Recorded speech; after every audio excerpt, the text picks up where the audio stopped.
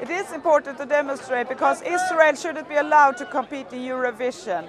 I mean, we stand there in solidarity with the Palestinian people. We haven't forgotten them. And we want to show the world that we are against Israel competing. You can't throw bombs with one hand and glitter with another hand.